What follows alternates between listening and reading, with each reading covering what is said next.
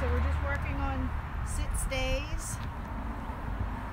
She has a tendency to follow her person, so when I give distance and move away, especially if I'm not holding a six foot leash, the temptation is to come and join me. I don't want that.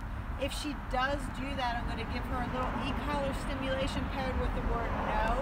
That's a correction. It means I don't want that. Stay where you are. Just going to add it no.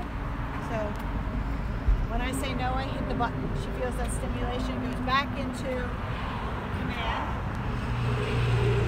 And I'm going to continue to build duration, which means stay there.